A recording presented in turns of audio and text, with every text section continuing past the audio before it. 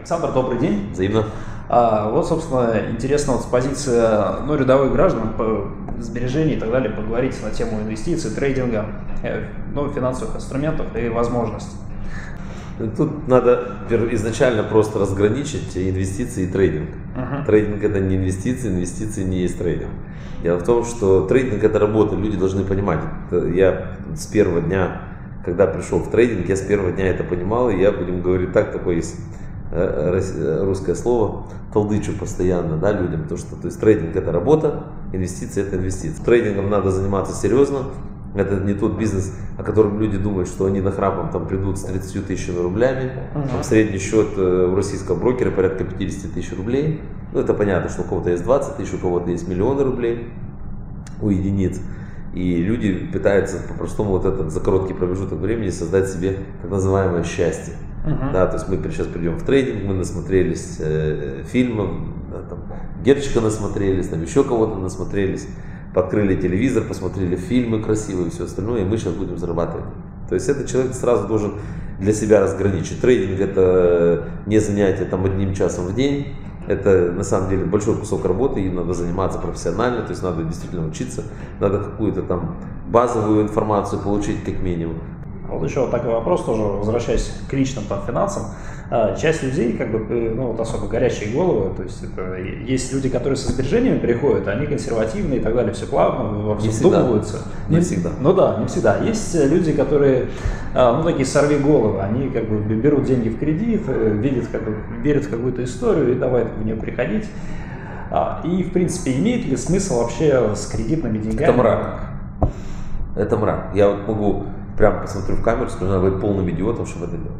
Люди знают, что я могу иногда выразиться, ну не иногда, а всегда. Я конкретно говорю одну вещь. Если вы действительно там хотите торговать на кредитные деньги или еще что-то, это мрак. Формула предельно проста. Берешь чужие на время, отдаешь свои навсегда. Это... Все. И люди не понимают, э, да, например, там, люди должны адекватно оценивать плечи, которые они берут. То есть, да, человек должен понимать, куда и на что он идет, и сколько это ему будет стоить. Uh-huh. Когда люди там начинают закладывать что-то в квартиру или еще что-то, это трендец.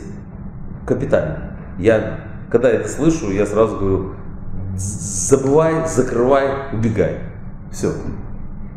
А как такого человека можно остановить? Никак. Никак.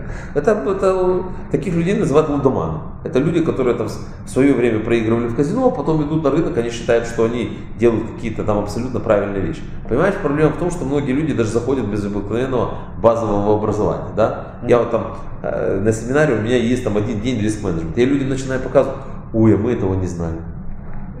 А что, надо максимальный риск на день поставить? А что, надо поставить максимальный риск на позицию? То есть люди идут, такое ощущение, что они приехали с космоса.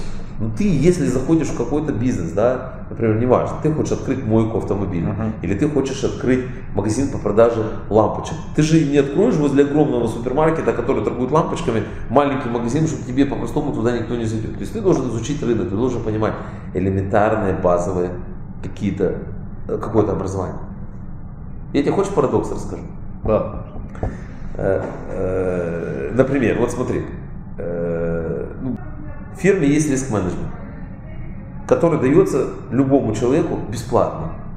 Вот, там, Вася, хочешь риск-менеджмент, который по-простому тебя защитит от твоей дурной головы. Что такое риск-менеджмент? Он тебя защищает от твоих глупых поступков. Ага. Например, ты идешь в казино, у тебя в одном кармане 100 рублей, а в другом 2. И вот этот риск-менеджмент закрывает зашивает карман, в котором есть 100, и ты можешь поиграть только на 2. А. Здесь сюда ты полезть не можешь. Ты можешь выйти, вернуться на следующий день, и тебе твой риск обратно выдаст 2 рубля, а. который ты можешь потерять. Угу. Вначале все берут этот риск менеджмент. Все. Угу. Все взяли риск менеджмент. Как ты думаешь, сколько людей определется через определенный промежуток времени? 5%. То есть люди считают, как вот этот риск менеджмент будет мне закрывать то, что он меня контролирует. И люди полностью отказываются от него, они думают, что они сильнее. Ты никогда не будешь сильнее системы. Рынок – это система. Ты – это маленькая часть этого механизма. Ну, в прямом смысле слова. Сегодня ты зашел на рынок за, с деньгами, ты есть. Ты ушел, за тебя забыли. Никто не знает, там, был такой трейдер. Это не герой Советского Союза, который был, или герой России. Угу. Он был, его больше нет. Есть, знаешь, очень хороший анекдот, когда, короче, э, Изин пошел за хлебом, на хлеб была скидка, у него остался один рубль, он зашел в казино, поставил на красное, выиграл, поставил на черное, выиграл, ну так вот он он нажался, все время выиграл и дошел до миллиона долларов. Ну, потом берет миллион долларов, ставит на красное, черное. Приходит домой, жена говорит, как дела? Проиграл доллар. Вот это, это основная проблема.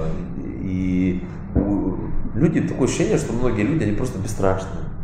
Ну там, да, там как сложно. как Нет, описать. реально, послушай, есть, есть статистика, да, есть статистика, и она по-простому неутешительная. Есть статистика по российским брокерам, в среднем сколько э, живет средний трейдер.